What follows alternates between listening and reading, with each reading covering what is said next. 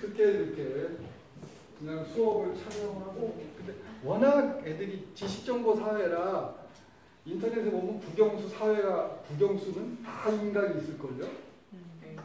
한 달에 몇천만 원 정도 다 있고 또 밑줄차 요점 정리까지 다 하더라고. 나는 대충.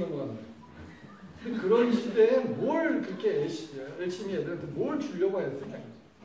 좀 재미있게. 음. 애들이 애들이 재미없는 수업은 용서를 잘 못해요. 분노한다. 여기 이거는 독학하고 이거는 요거 삼각대 만 원.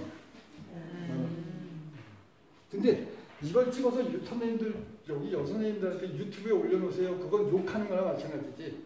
힘들어 죽겠는데 그걸 언제 올리냐? 올리지 않으셔도 그냥 갖다만 놔도 좋아. 이 자체가 애들은 놀이가 됐거든요. 그냥. 어 그리고 여기다가 명분을 이렇게 두셔야 돼. 어, 수행평가는 1년간 보존을 해야 되는. 그러면 애들이 책소리도 못해. 어 그럼 기록을 안 하면 이 수행 점수를 줄 수 없는데 이렇게. 그렇게 그리고 그 다음 날 이제 보여주고 또 잘 된 작품은 다른 반 보여주고 처음에 이게 그래서 이게 저작권입니다.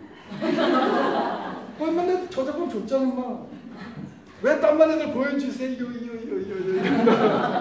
애들 심리가